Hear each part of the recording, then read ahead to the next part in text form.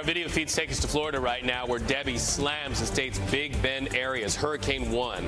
Uh, it's bringing heavy rains, flash flooding, and some pretty powerful winds. In fact, look at this video. More than 200,000 people, because of this, are without electricity. Uh, the area that is in the red is what we're talking about. That is where it is go time.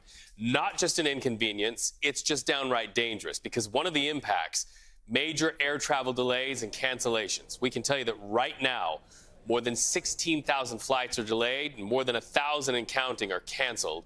Passengers, in fact, at Miami International Airport say they spent hours in these customer service lines just waiting to get out. Our flight got canceled in Houston twice, they said because of weather. We had to catch another flight, pay money to catch another flight to get here, only to stand in the line for two hours, being moved back and forth, back and forth. And you know, one of the heartbeats of this broadcast is being in your communities when news happens. And CBS News' Tom Hanson, that's where he is, right in somebody's neighborhood, Horseshoe Beach, Florida. Tom, paint a picture for us.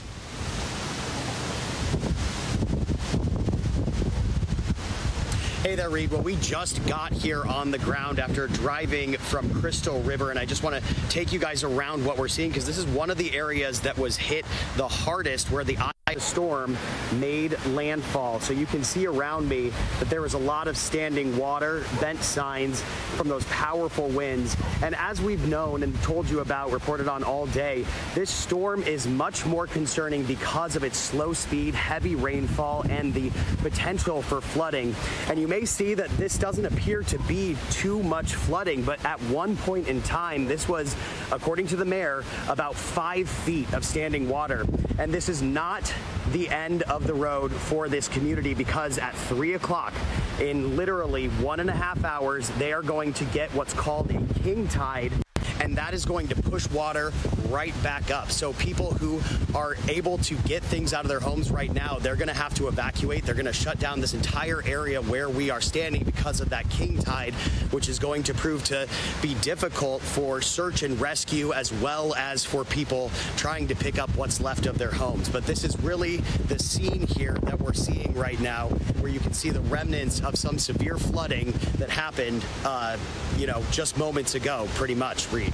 And you know, Tom, what I'm not seeing behind you in any of those streets, at least in that neighborhood, are storm drains. Many parts of the country benefit from storm drains. Now that ground is saturated, so any more moisture from the sky, and you've got flooding once again.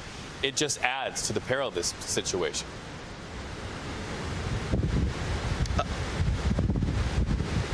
Oh, absolutely. And this is a coastal community, so it is right at sea level. This is one of those places that is most vulnerable in these kinds of weather events. And speaking of these kinds of weather events, this is also one of the exact communities where about a year ago, Hurricane Idalia wreaked serious havoc, uh, wreaked serious havoc and caused significant damage uh, in this area. So there are a lot of people here who are still cleaning up from that catastrophic event, only to have to to do the same thing again one year later. And just to remind you, Reed, that also happened in August of 2023. So we are just days away from that one year anniversary as Debby made landfall here.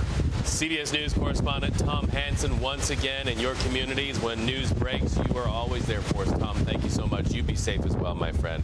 Okay, so let's bring in Jessica right now. He mentioned mm -hmm. something that really educates me a lot. When those storms just hover and they sit, yes. that's when the saturation and the flooding can really happen. Absolutely. Freshwater flooding is a big concern when it comes to hurricanes like this. Now it's a tropical storm, so we need to talk about the before, the during, the after. We now know it hit at about a category one, about 80 mile per hour sustained winds. You see right here, this is our live cam in Jacksonville. They're about to see some of the heavier rain within the next 20 hours. Now, one thing I want to show right now too, let's head over to the map. It has to do with the extreme low level flooding that's going to happen along the coastline, anywhere from Georgia all the way over into the Carolinas. Like Reed mentioned, that storm is going to move slow and it is going to continue to dump rain into communities where we could see record breaking numbers right around the corner. We have tropical storm warnings and watches. We have flood watches in effect right now And as we take a look right behind me, we continue to keep a close eye, not only on Florida now, now we're starting to keep our eyes just a little bit more north as they are gearing up and preparing for some heavy storm surge and some heavy freshwater flooding in the inland areas. Here's the track right now. Tropical storm Debby hit 80 miles per hour just along that coastline. Storm surge was a concern there, but now it's tracking inland. That's going to make it lose some of its energy within the next two days, and then it sits slowly just over the shoreline of the Carolinas, stretching down into Georgia, and that's where the big concern is when it comes to record-breaking numbers of heavy historic rain. Now, this is going to be forecast to be one of the wettest four-day periods on record, just into cities anywhere from Savannah all the way up into Charleston. We see storm surge as a concern. We see localized flooding as a concern, and we'll continue to keep you updated on this this tropical storm as it moves throughout that region. As we head into Wednesday, it's only expected to move just about 20 miles within a 12 hour period. So that, just to put it into perspective, is how slow the storm is currently moving, Reed. All right, Jess, thank you so much.